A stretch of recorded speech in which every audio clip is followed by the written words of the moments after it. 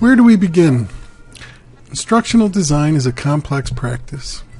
It generally involves finding the most effective ways to provide knowledge and skills to learners.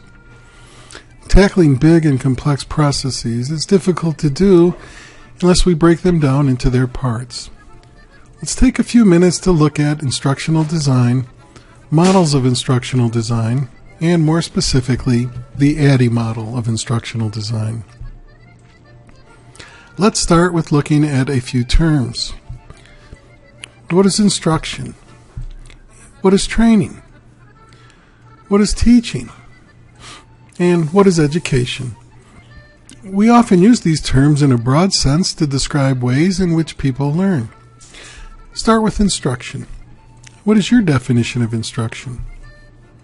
Experts such as Driscoll have defined instruction as intentional facilitation of learning toward identified learning goals.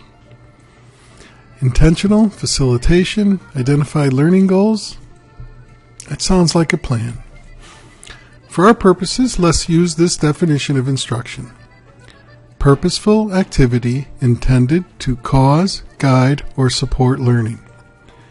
This definition will serve us in that we see we'll see instruction as something that has a purpose and intent and the goal of the instruction is to support learning. So, moving forward, when we think of instruction, let's think purposeful activity intended to cause, guide, or support learning. How about training? What is training? Smith and Ragan tell us that we often think of training as instructional experiences that are focused on individuals acquiring very specific skills that will likely be applied almost immediately. Think of jobs. We often think of training as preparing people for jobs. But we also think of training when we are providing specific skills to learners to use in life, don't we? Training is specific and focused and is often a subset of some larger objective. We've already defined instruction, and often people use the terms teaching and instruction interchangeably. While we've defined instruction as purposeful activity intended to cause, guide, or support learning, let's think of teaching as learning experiences that are facilitated by a human being or actual teacher.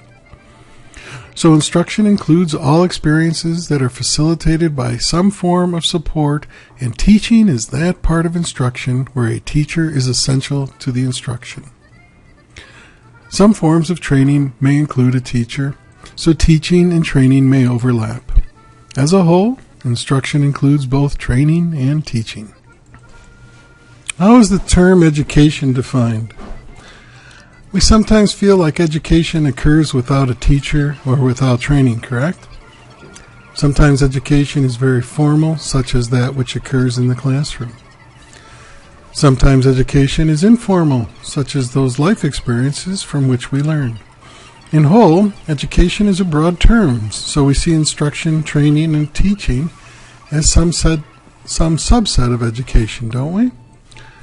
Let's pause for a moment and ask why the teaching spectrum actually expands past the instruction spectrum and into the whole of education. Why do you think teaching is depicted that way here? Well, I'd suggest that teaching sometimes occurs outside of instruction, yet is still within the realm of education. If instruction is focused educational experiences, then we know that there are times when teaching happens outside of a focused experience, don't we? How about those times when a person teaches another about something because of their actions? That's teaching, isn't it? Well, this diagram, adapted from Smith and Ragan, shows us some of the potential relationships between the terms we are setting up as we move into our study of instructional design. We have a working definition of instruction. About design? What is design? A lookup of the word design in a dictionary will produce something like this a plan or drawing produced to show the look and function or workings of something. Take instruction and look at how instruction is designed or how an end product is produced. If instruction is purposeful activity intended to cause, guide, or support learning, instructional design is the plan of the purposeful activity. The main goal of instructional design model or process is to construct a learning environment in order to provide the learners with the conditions that support the desired learning process. Our focus will be an instructional design model called ADDIE. A model is a simplified representation used to explain the workings of a real-world system or event. In our case, it's instructional design. There are multiple models of instructional design, and over the years there have been variations on many models. Some experts use a rapid prototyping approach to instructional design. Others may use an OAR model or even a backward design model. There are several. The ADDIE model has been a very popular model, and some experts have made their own version of the ADDIE model. Smith and Ragan created their own take on ADDIE. So did Morris, Ross, and Kemp. Dick and Carey and Carey have produced their version of the ADDIE model, which has been adopted by many. We will be studying the principles of instructional design using the ADDIE model, and for most of what we'll do will look very much like the Dick and Carey model. Let's take a look at the ADDIE model. The ADDIE model of instructional design is a systematic instructional design model consisting of five phases analysis, design, development, implementation, and evaluation. The model's original authors are unknown, but there are multiple var- variations and versions of the model today. With this model, each step of the process feeds the next. During the analysis phase, the designer identifies many things, including the learning problem, goals and objectives, the needs of the learner, the existing knowledge of the learner, the environment in which learning will take place, and constraints. Additionally, during the analysis phase, the designer will look at delivery options. The key word to this phase of the instructional design process is identify. During the design phase, the designer goes through the process of specifying learning objectives, storyboards, prototypes, the user interface, and the content.